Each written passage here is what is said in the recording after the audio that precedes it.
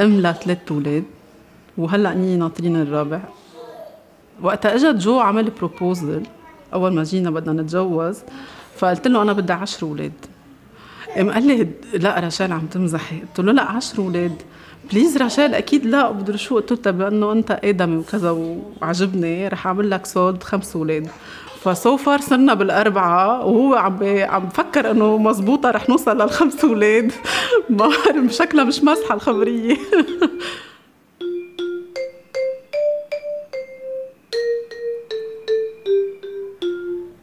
أحلى شيء بس يجوا كلهم على التخت لعندي. الصبح. يعني أوقات أوقات كثير بننام اثنين بنوعى بنوعى خمسة بالتخت.